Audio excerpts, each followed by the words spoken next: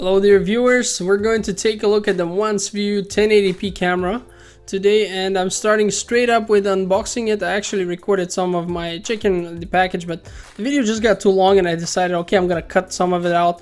The packaging isn't that important. First thing that greets us is the actual manual and as you can see it's in German here but um, because that's mainly because I ordered it from Germany. If you order it somewhere else you're going to receive the proper language. We have a full-fledged, full-size CD. I was about to say full-fledged. I mean, the mini ones are also full-fledged. So full-size CD with the with the drivers. You know, although there are no real drivers, but rather software. We have a really bad uh, line cable, as you can see, some kind of stand for the camera. If you want to mount it on a wall or something like that.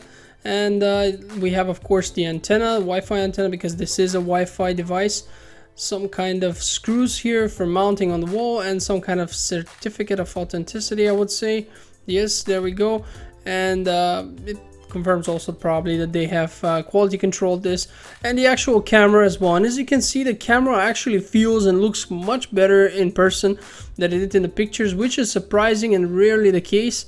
Uh, what we have in the back well it's pretty standard fare again uh, audio in and out we have also a reset button the power cable goes on left and here we have a full-sized SD card. It's not a micro SD but an actually full-sized one which is great because those are so much cheaper. So you guys are gonna be saving as am I and uh, that's great. I don't know why the, why the other companies or well some of the other companies aren't doing this because this really is a great idea to put a full-size card in this but of course, uh, as you can see, the package has some goodies for you, but ultimately it is the bare necessities, when, if we don't count the stand over there, um, that you will really need in order to set this up. And uh, we're going to take a look at how this device functions now. Now I've already set it up. I had a few difficulties because the LAN cable was not good and I attempted to do it with the, with the delivered LAN cable now at this point I'm using my own and everything's fine. As you can see I have to download a plugin. I was forced to install Mozilla Firefox because unfortunately Chrome did not support that plugin. And here we are in the uh, actual window where the program is being uh, is gonna greet us at. And uh, as you can see the live video is 1080p. You're going to notice though that it is a bit um, wide angle-ish as you can see, the edges of the video are a bit tilted, canted, I don't know how to describe them.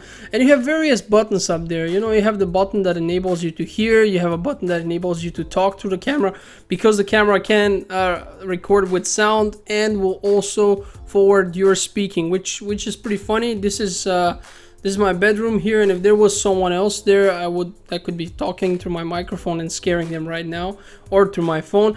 As you can see the camera supports software zoom which is uh, well it, it's it's okay. I mean it's 1080p camera but you know software zoom has never really been has never really been my thing.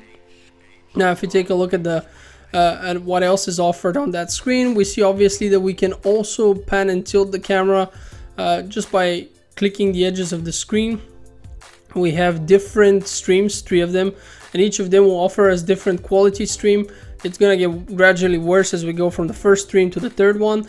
And the idea of this is if you're uh, somehow accessing the camera from uh, somewhere else or from your phone your internet's weaker uh, you're gonna want to check the bad stream because otherwise your lag is gonna be huge. And as you can see you can pan and tilt the camera from these buttons but you can also do it straight in the actual uh, screen.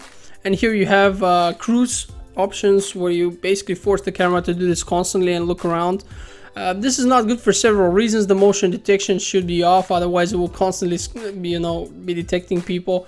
And uh, this is not healthy for these cameras. They shouldn't be moving all the time. They have this function, but you shouldn't abuse it. So I, my personal recommendation is just don't make it look around too much. It's not helping you that much and it's not helping anyone. Now I will intentionally walk into frame here just to show you how uh, it looks when there's somebody there. And as you can see I'm putting everything in order a little bit. I'm fixing my bed. I'm gonna stand in front of the camera just so you can see that the 1080p really do make a difference. You know it looks so much better. Uh, you can really tell a lot more details. Uh, all in all it, it really is a huge step ahead from 720p although this is hardly news for anyone here. Uh, we've all seen it and we all know that the difference is huge. Full hd just looks so much better and it will make a difference if you're trying to figure out who that person is who's potentially taking your stuff you know i don't want that happening. So that's one of the advantages. Now the software itself of the camera is uh, quite interesting. It offers a lot of things. Now I wanted to first talk about all of them, but then we'd have a 30 minutes video.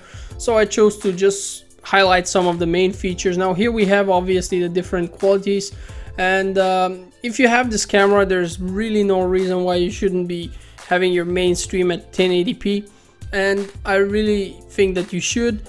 You have the mic strength and the recording strength of the audio. You can change the contrast and brightness. Standard fare here, but it's good to know that it's always there. You can flip the picture and you can mirror the picture. And in the past, I was always wondering why. And then someone in the comments told me once uh, that perhaps the camera for some reason has to be upside down. That's really smart. I just didn't come to it. Hey, kudos for you for telling me that, whoever you were. I'm sorry, I just forgot the name. In any case, um, now we're in a more interesting part of it. And here you have different windows. And these windows have the function of blackening parts of the screen. This is again, nothing innovative. We've seen this many times, but again, let's take a look. The concept is uh, we can cover part of the screen that we don't want recorded or visible at all times. Could be for many reasons, you know, it could, this could be your bathroom over there that for some reason you don't want to see who's going in and out or I don't know. But beware as I'm showing here that as you move the camera, this this uh, covered area will move with it obviously and uh, this can be a problem for you because it will uncover the area so don't pan and tilt too much then we have the motion detections here and again up to four uh, windows which you can set however you like. And basically what this is gonna do is uh, whenever there is motion or movement within that area that you have highlighted, now I'm playing a little bit uh, with it, it's not necessary to do this. You can just activate motion detection and the whole area will be anyway. But if you just want to do a certain area, if you say, okay, if, if something moves around there where my expensive stuff is hidden, for example, the camera is supposed to scream and send me emails and, and record and so on. As you can see, we have also uh, also uh, audio detection here, and uh, I wouldn't go for this. This is really cool because basically it forces the camera to record also if it hears loud noises but it can be it can backfire on you because many things can create noises unless it's really quiet i wouldn't use this and here we have another option where we can select whether the camera should react in a certain way if there's for example motion or, noise or whatever you, you set it up to react to and whether it should go all out and, and do all these things at once or it should do several things simultaneously. Uh, we have also, of course, the function here where we can set up the camera to record at certain times on certain days constantly. So that means if I tell it to record from from one in the in the evening, you know, from one in the night, nine in the evening to six in the morning every day, it's possible. And we have the night vision here. As you can see, I'm wandering around. Now it looks like a lamp over there, but that's a reflection of the of the uh, invisible to the eye infrared light. I was absolutely completely in the dark. I could not see anything, but as you can see, it creates even a shadow that the camera will recognize. But I myself could not really see anything. It was really dark. And as you can see, it was very good. Now, we obviously have the phone application as well. And it's uh, standard fare again. We can move the camera pan and tilt at will. We can pretty much modify anything we like in the same way as if we were connected on a PC so that's pretty nice and all in all I think this camera is really good I I was um, I was pretty happy with how it was performing. Everything seemed to be working well. The software was uh, fledged out you know it was not simple software not minimalistic. This is a high-end camera obviously and it performs like one. So I think uh, it's a very good device. And yeah I can recommend it if, if uh, someone likes it and someone wants to this can be a good choice for you definitely I would like to thank you for watching my video, but please stay for the messages after. See you next time. I hope you've enjoyed this video, and if that was the case, be sure to like, comment, and subscribe. And if you want to support my YouTube channel further, you may click on the Patreon sign on top, or you can also use the Amazon link that I've provided in the description to buy something within 5 minutes after clicking on that link. It really helps me guys, and I'd be really grateful if you did so. In any case, thanks for watching, and I hope I'll see you on the next video.